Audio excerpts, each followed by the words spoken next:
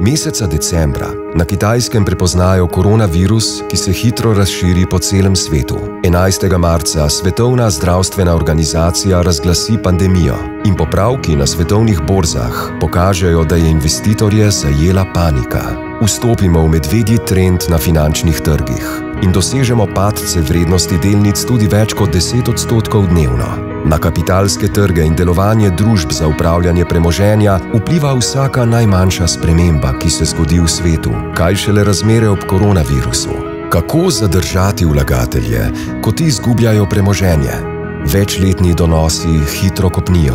Analitiki opozarjajo na prihajajočo recesijo, panika in nezaupanje se širita, in v izrednih razmerah vlada od nas zahteva samoizolacijo. Odgovor se skriva v transparentni informiranosti. Potrebno je podajanje strokovnih mnen, tehnih nasvetov in vodenje, ki v ospredje postavlja vlagatelja in njegovo prihodnost. Vlagatelji in uporabniki so svoje življenje prenesli v digitalno okolje, zato smo v digitalne kanale preusmerili 100 odstotkov komunikacije. Nadgradili smo stalno dosegljivost, odprli nove komunikacijske kanale, komunicirali na različnih nivojih z vsebino, ki je bila skrbno prilagojena različnim tipom uporabnikov. Na profilu aplikacije Facebook smo uporabnikom omogočili, da nam v sklopu QA druženja zastavijo svoje vprašanja. Dnevno smo odgovarjali na vse pozitivne in negativne komentarje in povezovali aktivno dogajanje in prilagajanje naše družbe v kreativah serije Ostani doma, ostani investiran. Iskrenost, razumevanje in pomirjanje so bile odlike v komunikaciji, ki jih je uporabnik začutil na emocionalni ravni. Z novo podstranjo izpostavljeno smo uporabnike informirali z lastnimi strokovnimi zapisi.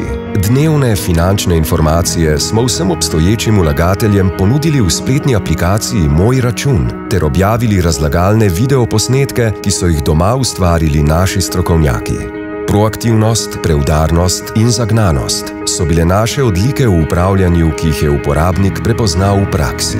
S široko zastavljeno digitalno komunikacijo smo ohranili zaupanje in lojalnost svojih vlagateljev. Spletno mesto je dnevno obiskalo 81 odstotkov novih uporabnikov.